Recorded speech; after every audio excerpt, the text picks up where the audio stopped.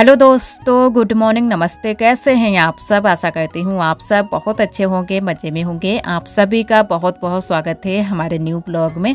तो हो चुकी है सुबह की शुरुआत और सुबह के कामों से हमारे ब्लॉग की शुरुआत हो गई है। तो आज है 16 मार्च, दिन है शनिवार का और सुबह का ही समय हो रहा है। तो सबसे पहले आज हम छत पर आ गए हैं तो छत पर की साफ़ सफ़ाई करेंगे और अभी नीचे की सारी साफ़ सफ़ाई बाकी है तो वो हम करेंगे बाद में, क्योंकि कल यहाँ पर शाम के टाइम में पुताई नहीं कर पाई थी चूल्हे की तो अभी सबसे पहले पुताई करेंगे और अच्छे से पूरी छत की साफ़ सफ़ाई करेंगे।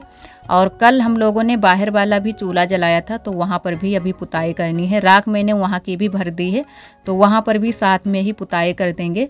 और सुबह के बहुत सारे काम हो जाते हैं। अगर एक काम करने के लिए आओ तो बहुत सारे काम हो जाते हैं।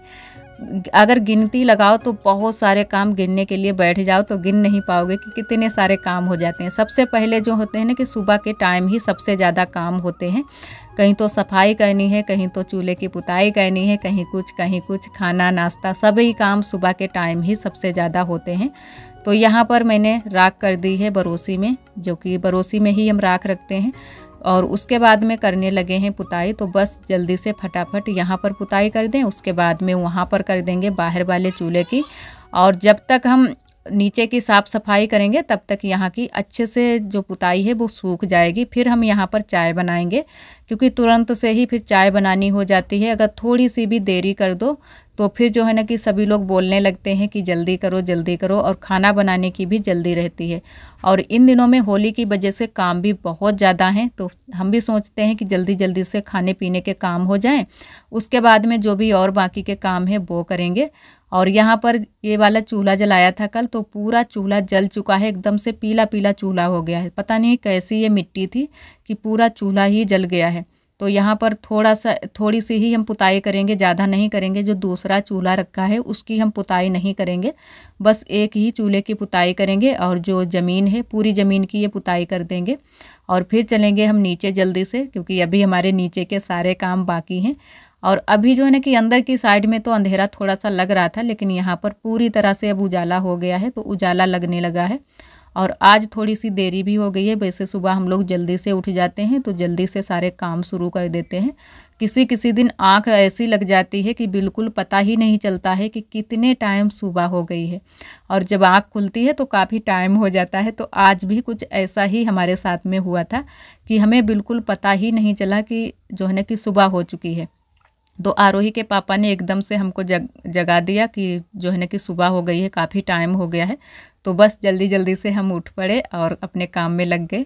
और इधर मैंने कमरे की भी थोड़ी सी साफ़ सफ़ाई कर ली है, क्योंकि कल आरोही ने थोड़ा सा कूड़ा डाल दिया था कमरे में।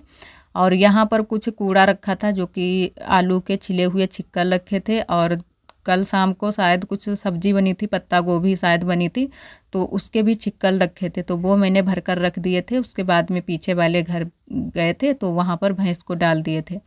और इधर फिर चढ़ा दी है चाय चाय बन जाए उसके बाद में हमने साथ में ही कुकर में भी लेई लगा दी है, जो कि राख लगा कर रख दी है।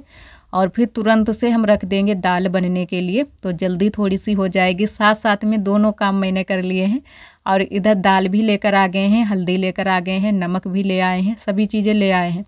और इधर आ गया था बंदर तो वही हम देख रहे थे कि किधर को जाएगा, किधर को नहीं। अगर इधर आए तो डंडा उठाएँ तो बंदर बहुत जल्दी से आ जाते हैं। कल तो आप सभी ने देखा था कि कितने ज़्यादा बंदर जो है ना कि इतने पास आ जाते हैं और हमें पता भी नहीं चलता है कि बंदर एकदम से आ जाते हैं।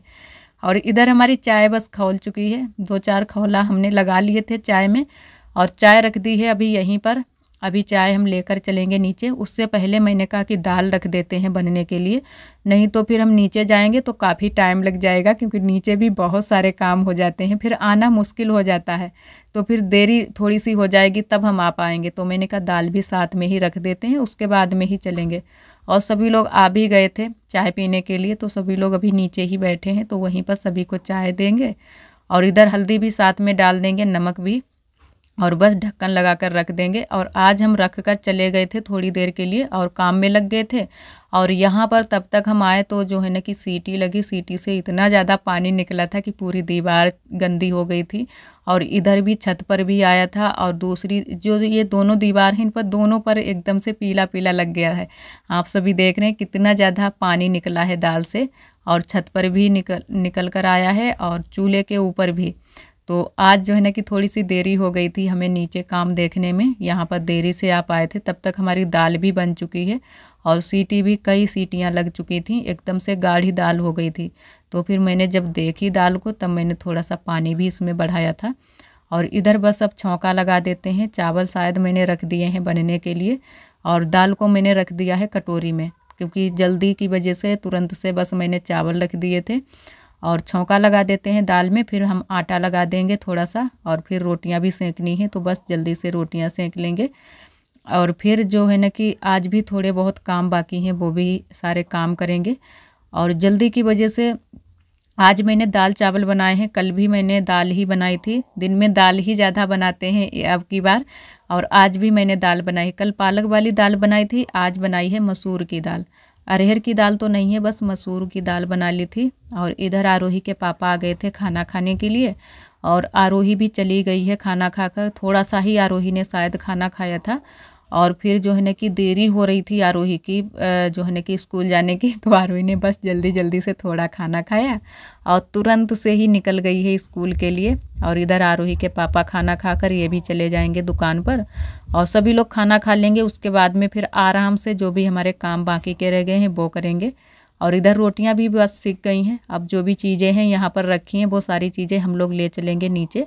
यहाँ पर कुछ भी नहीं रखते हैं, सिर्फ़ पाटा बेलन और तवा रखते हैं, चिमटा, फुकनी। ये सारी चीज़ें हम यहीं पर छोड़ देते हैं और बाकी की चीज़ें सभी नीचे लेकर आते हैं।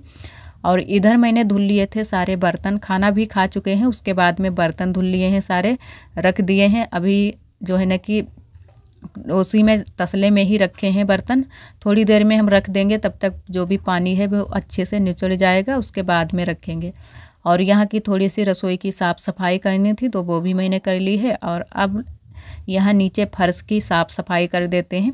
यहाँ पर तो दो तीन बार हम लोगों को साफ़ सफ़ाई करनी होती है। सुबह दोपहरी में जितने टाइम दोपहरी में टाइम मिल जाता है, दो बार होती है तो दो बार कर देते हैं क्योंकि जितनी ज़्यादा मिट्टी आ जाती है, उतनी ही जल्दी से हम लोग साफ़ सफ़ाई करते हैं। और इधर तब तक हमारी देवरानी जी ने पापड़ बनाने की तैयारी कर ली है। तो आज हम लोग आलू के पापड़ और सेव बनाएँगे आलू के। तो वो भी आप सभी के साथ में शेयर करेंगे। तो सारी तैयारियाँ हो चुकी हैं पापड़ बनाने की तो बस अब बनाने ही वाले हैं हम लोग। अभी जाएँगे और आज हम लोग अपनी छत पर नहीं बनाएँगे क्योंकि कल बहुत ज़्यादा दिक्कत हो गई थी बंदर की वजह से। काफ़ी हम लोग वहाँ पर परेशान हो गए थे बैठे बैठे तो आज हम लोग बनाएँगे दीदी की छत पर, जो कि बगिया में। वहाँ पर बंदर नहीं आते हैं। उस दिन दीदी ने नमकीन बनाई थी। तो बिल्कुल भी बंदर वहाँ पर नहीं आए थे। तो आज हम लोगों ने कहा, चलो हम लोग भी वहीं पर आज बनाएँगे। तो दीदी ने भी बोल दिया था कि हाँ बना लो, क्योंकि सभी लोग वहाँ पर बनाते हैं। कई लोगों ने आज नमकीन वहाँ पर बनाई थी। और इधर बुआ पीछे वाले घर में मिट्टी लगा रही हैं तो बुआ ने कहा कि पहले मिट्टी लगवा लो, उसके बाद में जाना पापड़ बनाने के लिए। तो मैंने कहा, चलो ठीक है, पहले मिट्टी लगवा लेते हैं, उसके बाद में चलेंगे पापड़ बनाने के लिए।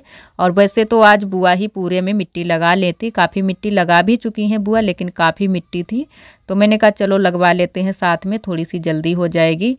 और आज धूप भी हल्की सी निकली है, इतनी तेज़ धूप भी नहीं है। तो बुआ ने कहा, जितनी जल्दी लग जाए, उतना ही अच्छा रहेगा, अच्छे से सूख जाएगी। वैसे भी एक दिन में अच्छे से मिट्टी नहीं सूख पाती है। तो यहाँ पर बस हम शुरू हो गए थे मिट्टी लगाने के लिए बैठ गए हैं। तो जल्दी से ही मिट्टी लग गई थी। और आप सभी दोस्तों को तह दिल से बहुत बहुत धन्यवाद। आप सभी बहुत प्यारे प्यारे कमेंट कहते हो, हमें बहुत अच्छा लगता है। इसी तरह आप सब हमारे चैनल से जुड़े रहिएगा, अपना प्यार और सपोर्ट बनाए रखना। जो दोस्त हमारे चैनल पर न्यू आते हैं तो चैनल को सब्सक्राइब ज़रूर कर लिया करें। और कई दीदियों ने हमारी बोला है नाम लेने के लिए तो सबसे पहले जो हमारी दीदी हैं, पूजा देवी। एक हमारी दीदी हैं साइमा, एक और हमारी दीदी हैं सरोज यादव। तो आप सभी का बहुत बहुत धन्यवाद। और एक हमारी दीदी ने कमेंट किया था कि हमारे यहाँ कंडा नहीं बोला जाता है, हमारे यहाँ इनको उपले बोलते हैं। तो जी दीदी, ये हमारे यहाँ गाँव की भाषा है तो वैसे तो इनको शुद्ध भाषा में, हिंदी भाषा में उपले ही बोलते हैं। लेकिन गाँव में कुछ अजीब भाषाएँ बोली जाती हैं, जो कि हम लोग बोलते हैं कंडा, कंडी या कुछ भी बोल सकते हैं। तो अलग अलग तरीके से सभी लोग बोलते हैं तो उसी तरीके से हम लोग भी बोलते हैं और बठिया को हम लोग बठिया बोलते हैं। और एक हमारी दीदी ने कमेंट किया है कि हमारा बेटा आपके ब्लॉग बहुत ज़्यादा पसंद करता है, जबकि उसकी परीक्षा हो रही है, फिर भी वो आपके ब्लॉग बहुत ज़्यादा देखता है। तो आपका दीदी बहुत बहुत धन्यवाद। और उनके बेटे का नाम है आकर्ष तो आपका बेटा बहुत बहुत धन्यवाद। लेकिन आप पहले अपनी अच्छे से परीक्षा कीजिए, उसके बाद में आप हमारे ब्लॉग देखना।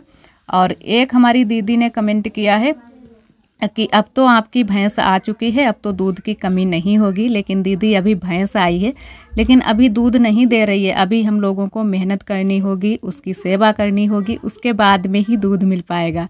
और वैसे भी पहले सेवा करो भैंस की, उसके बाद में ही दूध जो है ना कि भैंस का खाओ तो अच्छा रहता है। नहीं तो अभी जो है ना कि नई भैंस आई है तो हम लोगों से अच्छे से मिलजुल भी नहीं पाई है। तो अभी थोड़े दिन हम लोगों को सेवा करनी होगी, मेहनत करनी होगी, उसके बाद में ही दूध हमारे यहाँ हो पाएगा। और जो भी दोस्त हमारे मुस्लिम भाई भैया, दीदी हैं तो उन सभी को रमज़ान की बहुत बहुत शुभकामनाएँ। आप सभी अपने त्योहारों को अच्छे से मनाओ। और अब तो हमारा त्यौहार भी आ चुका है। आप लोगों का जो त्यौहार है, एक महीने का हो जाता है, लेकिन हमारे लोगों का त्यौहार जो है है तो दो तीन दिन का, लेकिन फिर भी तैयारी बहुत सारी करनी होती हैं इन त्योहारों पर। तो होली के लिए तो बहुत सारी तैयारियाँ करनी होती हैं। सबसे ज़्यादा जो तैयारियाँ करनी होती हैं, वो होली पर ही होती हैं। एक सबसे बड़ा त्यौहार जो है, वो होली का ही है। वैसे दीपावली का भी त्यौहार बड़ा है, लेकिन दीपावली पर इतनी ज़्यादा तैयारियाँ नहीं करनी होती हैं। जितनी की होली पर करनी होती हैं। और उधर हमारी लिपाई हो चुकी थी, जो कि मिट्टी लगाने का काम हो चुका था, छपाई। और फिर हम लोग आ चुके हैं दीदी के यहाँ छत पर, जो कि ये बगिया में घर बना है।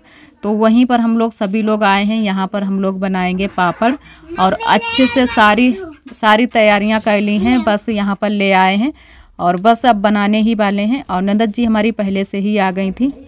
बहुत ही अच्छे से जो चावल हम लोगों ने बनाए हैं, वो बहुत ही अच्छे से मार लिए हैं और तैयार कर लिए हैं। तो बस अब लोई बनाते जाएँगे और बस साथ में पापड़ भी बनाते जाएँगे और इधर हम बैठ गए हैं पापड़ बनाने के लिए। तो जिस तरीके से आलू के पापड़ बनाए हैं, उसी तरीके से हम चावल के भी पापड़ बनाएँगे।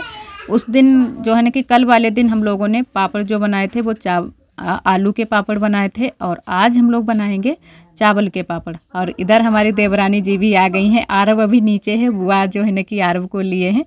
तो आरव अभी नीचे ही खेल रहा है। अब जब रोएगा तब हमारी देवरानी जी जाएँगे। तब तक देवरानी भी लग गई हैं जो है ना कि नमकीन बनवाने में। तो ये जो है ना कि पॉलीथीन लेकर आई हैं। पोलीथीन से नमकीन चुआएँगी, जो कि सेव जिन्हें बोलते हैं, या कुछ जलेबी भी बोलते हैं। बहुत सारे लोग बहुत सारे नामों से बोलते हैं। तो हमारे यहाँ इसको नमकीन ही बोलते हैं। और इधर बस हम, जो है ना कि जो गोल वाले पापड़ हैं, वो बना रहे हैं। और ननद जी हमारी जो गोली होती है ना, गोले, वो बना रही हैं। तो जल्दी थोड़ी सी हो गई थी और यहाँ पर बहुत सारे लोगों ने पापड़ भी बनाए हैं, जो कि आप सभी देख सकते हैं। आलू के पापड़ सभी लोगों ने बनाए हैं। तो यहाँ पर सूख रहे हैं। यहाँ पर बंदर नहीं आते हैं। ये सबसे अच्छी बात है कि यहाँ पर बंदर नहीं आते हैं। लेकिन कभी कभी आते हैं, हर रोज़ नहीं आते हैं। तो यहाँ पर अच्छे से हमारे पापड़ सूख जाएँगे। और इनको देखना भी नहीं पड़ेगा, बस एक दो बार आकर यहाँ पर देख लेंगे और उसके बाद में अच्छे से सूखते जाएँगे। तो बस जल्दी जल्दी से हम लोगों ने बना दी थी नमकीन और अभी तो शुरुआत हुई है, पूरी जो है ना कि पन्नी जितनी भी मैंने बिछाई है, पूरी पन्नी भर दी थी। लेकिन जो सेव हैं, जो जो चावल के सेव हम लोगों ने चुआए थे, वो कम बन पाए थे, पापड़ थोड़े से ज़्यादा बन गए थे। और ये वाले पापड़ एक ख़ास बात होती है जो ये हम लोग चावल के आट, चावल के जो पापड़ बनाते हैं, इनमें एक ख़ास बात होती है, इनको थोड़ा सा मोटा मोटा ही बनाओ। नहीं तो ये फिर छुटाने में दिक्कत हो जाती है और पापड़ फट भी जाते हैं। तो हम लोगों ने थोड़े से मोटे मोटे ही ये पापड़ बनाए हैं और इधर पापड़ बनकर तैयार हो गए हैं। और रंग बिरंगे थोड़े से बनाए हैं। थोड़ा सा पीला हल्का सा कलर डाल लिया था, जो कि लड्डू में जो कलर डाला जाता है, वही वाला डाल, डाला है। तो अच्छे लग रहे हैं पीले और सफ़ेद। और इधर बस चलते हैं अब नीचे। और यहाँ पर सभी लोग बैठे हैं। दीदी, हमारी नंदत जी, सभी लोग बैठे हैं। लेकिन सभी को मैंने आप सभी को दिखाया नहीं है, क्योंकि और भी कई लोग बैठे थे। तो कुछ लोग वीडियो में आना पसंद करते हैं, कुछ लोग नहीं आते हैं। तो मैंने इसी वजह से आप सभी को नहीं दिखाया है। और इधर हमारी दीदी की बिटिया ने लगा लिया है अड्डा। तो हमारी नंदत जी भी बोल रही थी कि अड्डा लगवा लें तो सभी लोग थोड़ी थोड़ी हेल्प करा लेना। तो मैंने कहा, चलो है, ठीक है, लगवा लेना। लेकिन अभी पहले देख लो कि किस तरीके से ये कढ़ाई की जाती है, क्योंकि इसको थोड़ा सा सीखना पड़ता है। तो कढ़ाई तो वैसे अच्छी है बड़ी बड़ी कढ़ाई है, लेकिन फिर भी थोड़ी सी दिक्कत हो जाती है इसको बनाने में। और वहाँ से हम लोग आ चुके थे बगिया से, इधर आप सभी को दिखाते हैं। हमारी दीदी जी ने, एक हमारी दीदी जी ने कमेंट किया था कि अपनी नदर जी की आँख दिखाना कि किस तरीके का दाना निकला है। तो ये दाना यहाँ पर निकला है। अभी भी दाना अच्छे से ठीक नहीं हो पाया है तो पक चुका है, क्योंकि इसमें हमारी नदर जी कल से ही कुछ जो पत्ते होते हैं शायद अजूबा के पत्ते होते हैं, वही लगा रही हैं। कई लोगों ने बताया कि उसके पत्ते लगा लो तो जल्दी से जो दाना निकला है, कंजिया जो है, वो पक जाएगी। तो उसी को लगाया है तो पक चुकी है, उसी को जो है ना कि दाब रही थी। कि जो भी इसमें गंदगी भरी है, वो निकल जाए जल्दी से और जल्दी से जो गांठ है, वो भी निकल जाए, ठीक हो जाए। क्योंकि बहुत ज़्यादा दिक्कत हो रही है और आज भी हमारी नंदत जी दवाई लेने के लिए गई थी और इधर फिर हम लग गए हैं साफ़ सफ़ाई में तो आज मैंने कहा यहाँ की थोड़ी सी साफ़ सफ़ाई कर देते हैं। और जो ये अबरी मैंने पहले लगाई थी, जो झालर वाली अबरी, उसको भी हटा देंगे, अब दूसरी अबरी लगाएँगे। वैसे तो हम और बाकी की अबरी नहीं हटाएँगे। बहुत सारी अबरी अभी अच्छे से लगी है। बस ये झालर वाली अबरी निकालेंगे, यही वाली हम दूसरी लगाएँगे। और इधर यहाँ की अच्छे से मैंने साफ़ सफ़ाई कर दी है पटिया की, और जो मैंने ये यहाँ पर बिस्तर बिछा कर रखा है बकस पर, इसको भी मैंने अच्छे से साफ़ कर दिया है, क्योंकि नीचे की साइड में बहुत ज़्यादा बालू हो जाती है। और पता भी नहीं चलता है कि कहाँ से ये इतनी ज़्यादा बालू आती है। और जिस दिन भी हम बेड के जो बिस्तर हैं, वो हटाएँगे, उस दिन तो बहुत ज़्यादा बालू निकलेगी। तो अभी नहीं, आज नहीं हटाएँगे, किसी और दिन हटाएँगे। जिस दिन भी हम नहाए नहाने से पहले ही जो है ना कि हटाएँगे तो अच्छे से यहाँ की साफ़ सफ़ाई सारी हम कर देंगे। और इधर जो ये सामने वाली अलमारी है, यहाँ पर भी कुछ चीज़ें जो है ना कि फैली हुई पड़ी हैं। तो मैंने कहा, यहाँ पर भी अच्छे से संभाल कर रख देते हैं और थोड़ी बहुत साफ़ सफ़ाई भी साथ में कर देंगे। और यहाँ पर तो अब थोड़ा सा सामान मैंने कर दिया है। बहुत सारा सामान जो है ना कि ये दुकान पर ले गए हैं और थोड़ा बहुत सामान जो था, वो मैंने नए वाले रूम में भी रख दिया है।